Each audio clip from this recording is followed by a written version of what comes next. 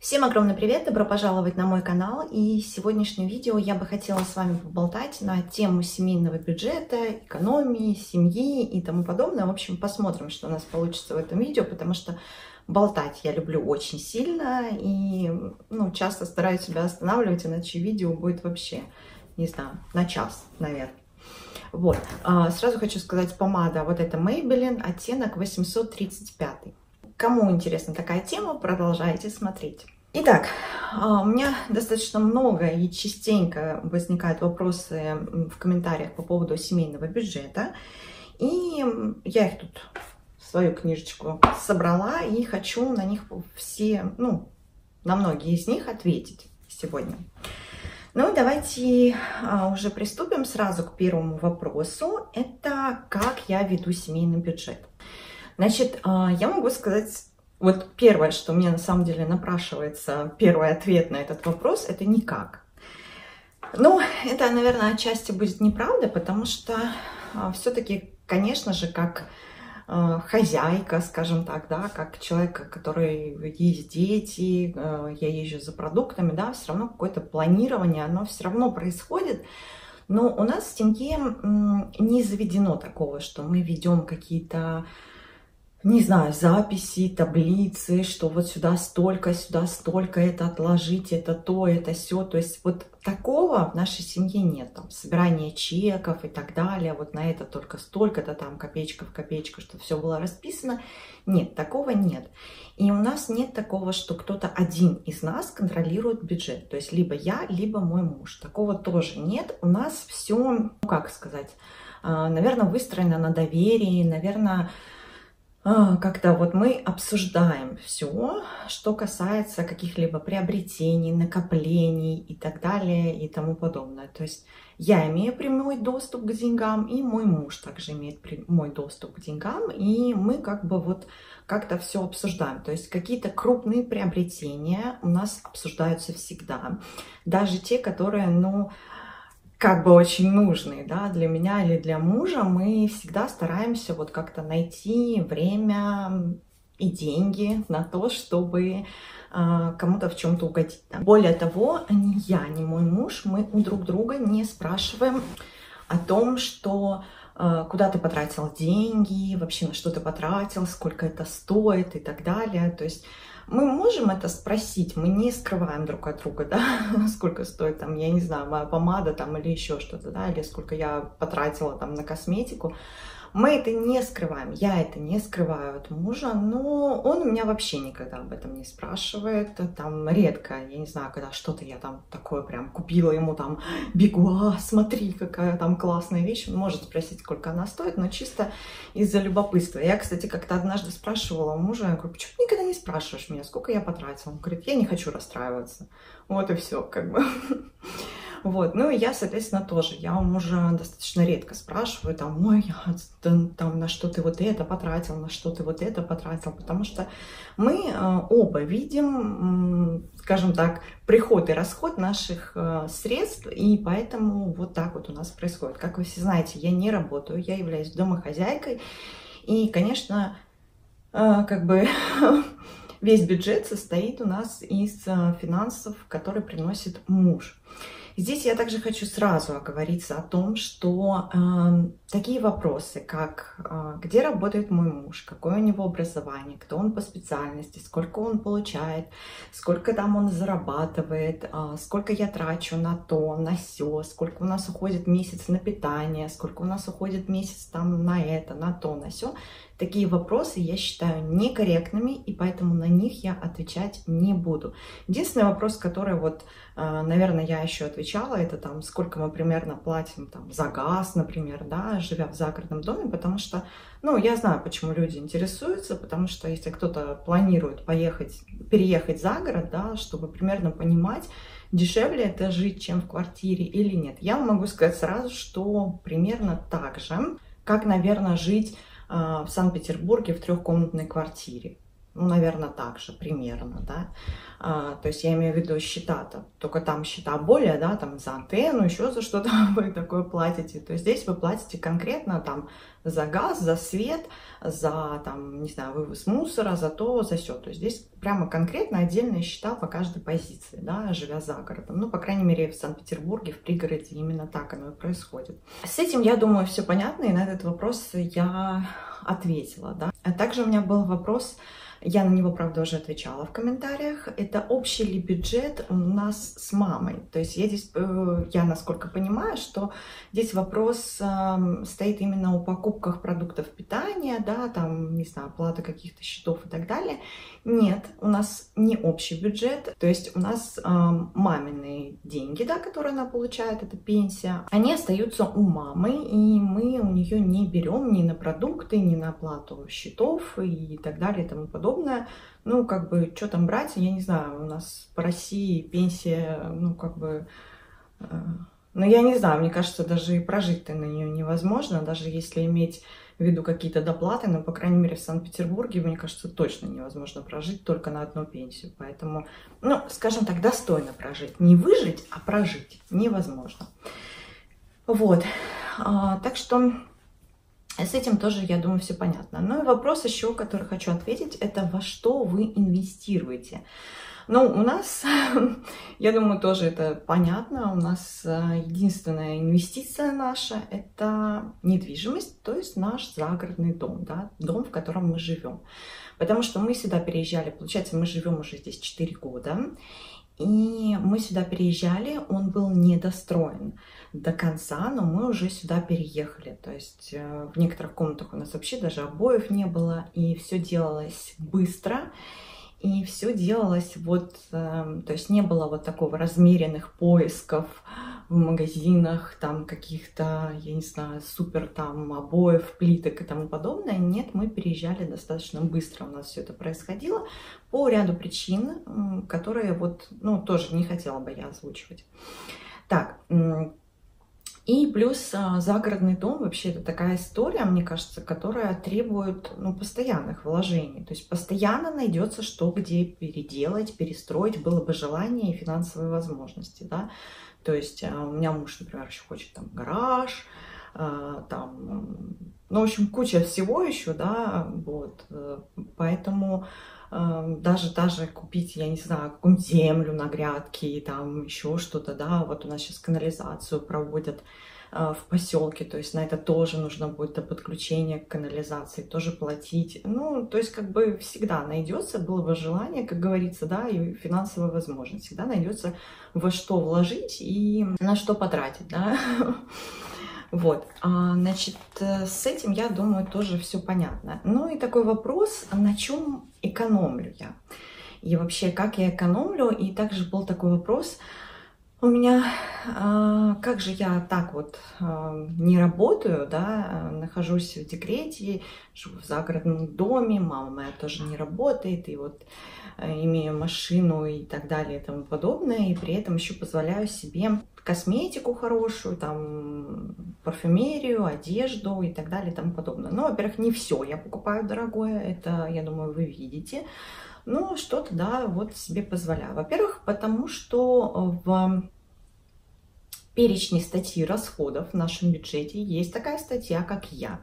И я считаю, что каждая женщина должна включать такую статью расходов. И не только там какие-то, знаете, такие вещи, скажем так, необходимые, да, там средства гигиены там, и так далее и тому подобное, но еще какое-то маленькое баловство, какую-то радость для себя всегда должна быть в этой статье расходов. Я считаю, что женщина вообще ежемесячно должна себя каким-то образом баловать, э, украшать, я не знаю, все, что ей хочется, или не обязательно украшать, не знаю, что-то для себя любимый приобретать. Это, ну, это всегда поднимает настроение, это поднимает где-то самооценку и так далее и тому подобное. Общем, много всяких факторов. Я считаю, что это так должно быть в каждой семье, и так есть в моей семье. И эта статья расходов, это одна из последних статей, на которые вообще э, я буду экономить, скажем так. Ну и вернемся к вопросу, на чем же я экономлю, вообще экономная ли я хозяйка, экономлю ли я вообще. А, я в каком-то из видео на самом деле уже отвечала на этот вопрос, но я что-то не могу найти видео это и не помню, в каком я об этом говорила. Но я считаю себя такой 50 на 50, наверное, экономной хозяйкой. То есть я считаю, что деньги и вообще наша жизнь для того, чтобы жить, наслаждаться, получать удовольствие. Деньги – это средство получения э, наслаждения, удовольствия и тому подобное. То есть я такой более в позитивную сторону направленный человек. Э, и поэтому э, я, ну, с, наверное, большей легкостью отношусь к деньгам. Раньше, когда была молодая, вообще я жила от зарплаты до зарплаты. Когда училась, работала, вообще мне до зарплаты иногда не хватало. То есть я очень легко э, отношусь к деньгам. Я считаю, что если вы работаете, зарабатываете, вкладываете себя, то, ну, как бы побаловать себя, конечно же, нужно. И я вот, да, в этом плане, может быть, какой-то эгоист, но э, такое во мне есть. Конечно, с появлением детей, семьи уже как-то больше задумываешься о каких-то других вещах, уже немножко по-другому расставляются приоритеты, но я думаю, это все как у всех. Но вот я, например, никогда не буду экономить на себе, знаете, вот до прям вот вот в рваных колготках ходить, да, но вот накопить на новую машину мужу. Нет, это не моя история вообще. И вообще вот такие подобные когда вот я узнаю, что люди так вот копят, да, когда вот просто в ноль себе ничего не позволяют, вот только самое необходимое, самое необходимое это еда и все, да, оплата каких-то коммунальных счетов, и вот есть какая-то цель, иду к ней, да, и вот коплю, коплю во всем, отказывая себя и в себе, и я знаю людей, которых прям несколько лет это продолжается. В таких случаях, вы знаете, я считаю, что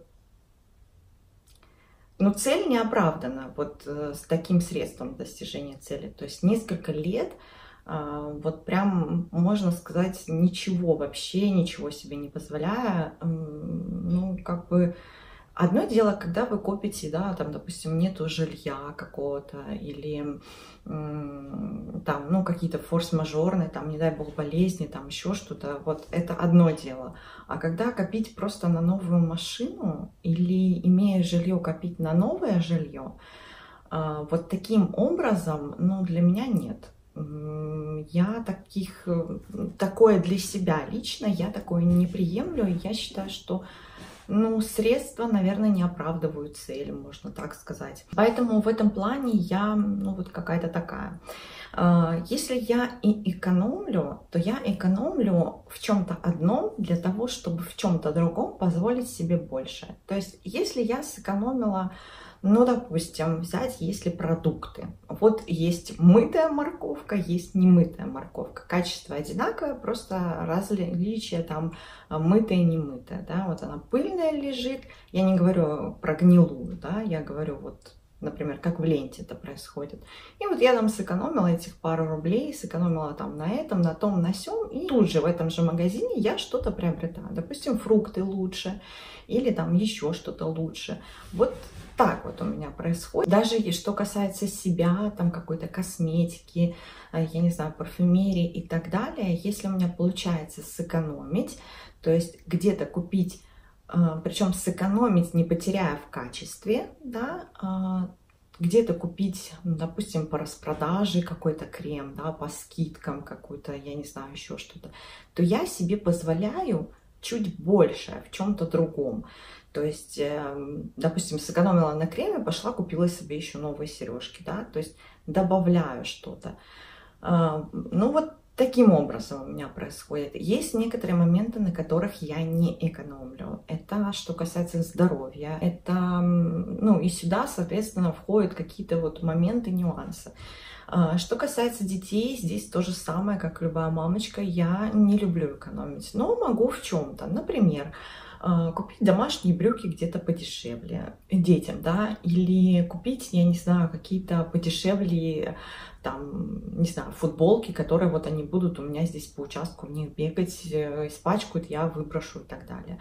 То есть вот в каких-то таких моментах, да, я могу сэкономить. Я, допустим, ту же детскую одежду я лучше закажу где-то через интернет, возможно, там будет какая-то скидка, акция, там, я не знаю, какой-нибудь купончик, промокод и так далее, и я там сэкономлю, ну, пусть 500, ну, пусть 1000 рублей, но я сэкономлю. И, допустим, эту 500 тысяч рублей я позволю там детям купить купить э, какую-то игрушку, например, новую, да, или что-то такое, или еще одну пару штанов обоим, да.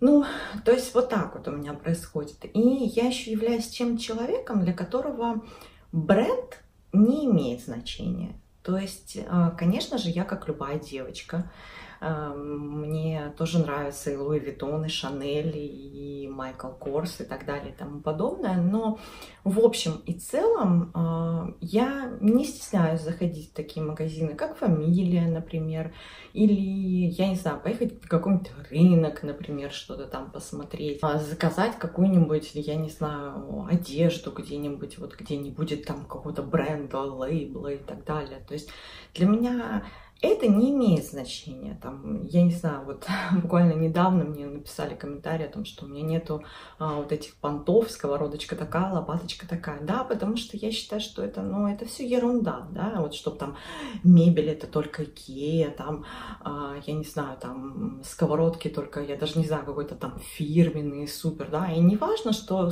она через год также испортится, как а, сковородка какой-то другой фирмы, не важно, да, вот важно, что вот у меня такой бренд. Нет, мне вот это не важно. Мне важно в общем общий вид.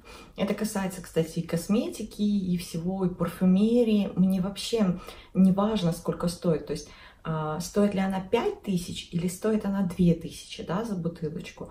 Э, мне важно, какой, какой аромат, да, э, как я себя ощущаю с этим парфюмом, да, или с этой косметикой и так далее. И у меня, да, у меня есть вот, пожалуйста, помада там на каком-то сайте мне писали, она вообще, по-моему, 130 рублей. Ну, вот я за 200 купила, да. 200 рублей, есть помада за 2000. То есть э, здесь для меня не столько важен сам бренд, сколько важно то, как это все выглядит. То же самое и дом. Мне не важно, от какого, какой фирмы у меня занавески. Мне важно, э, как они выглядят, как они гармонируют с обстановкой в доме и так далее. Да? Я могу спокойно купить какую-нибудь сковородку за 200 рублей и вообще не париться. Она у меня там вся испачкается в жире, прогорит и так далее. Я ее выброшу, и для меня это нормально.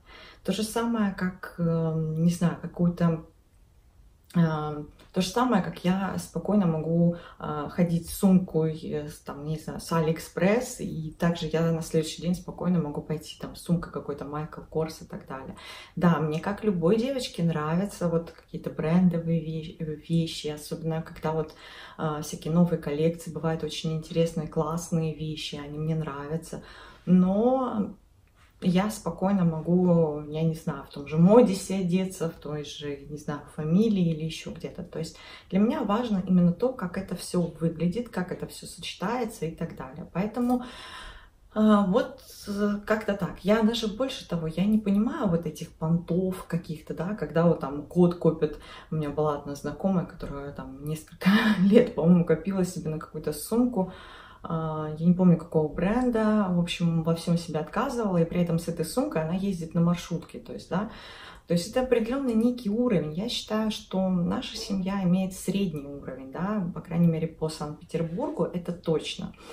А, ну и вот, вот как-то так. При этом, кстати, я очень плохо отношусь к подделкам. Я не понимаю этого. Я не понимаю, зачем покупать в особенности подделку косметики, например, да, то есть э, в особенности я не понимаю подделки под марку NYX, например, когда она достаточно бюджетная и на любом сайте можно заказать, э, там, я не знаю, бывают акции, всякие скидки и так далее, и на нее делают подделки, вот это мне непонятно. И вообще к подделкам я плохо отношусь, и э, считаю, что, ну, я не понимаю просто, зачем это, да, если вы себе можете позволить там сумку от Louis Vuitton, сколько она там стоит, 300 тысяч, допустим, да, и это говорит о определенном уровне, уровне достатки, достатка вашего, да, а когда вы покупаете подделку, причем хорошая, качественная подделка стоит дорого, ну, не вижу смысла, да, в этом. Вот поэтому подделок у меня нет. Если я хочу что-то там брендовое или еще что-то такое, то я,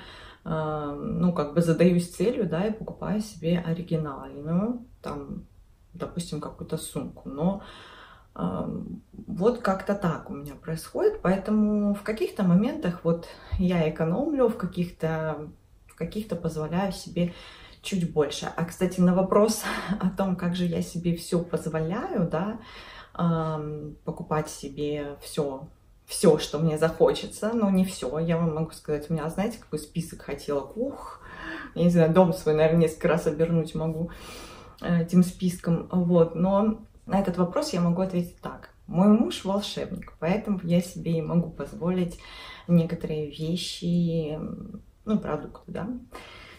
Вот, так что я надеюсь, я ответила на этот вопрос.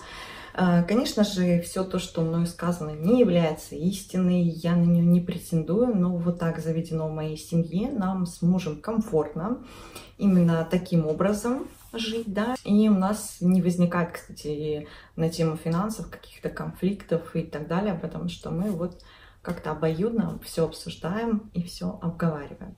Обязательно жду ваши комментарии, что вы думаете на этот счет, как экономите вы. Обязательно напишите, мне это действительно очень интересно. Не забывайте ставить пальчики вверх, мне это очень приятно. Ну и на сегодня я буду заканчивать. Всех люблю, целую и до новых встреч!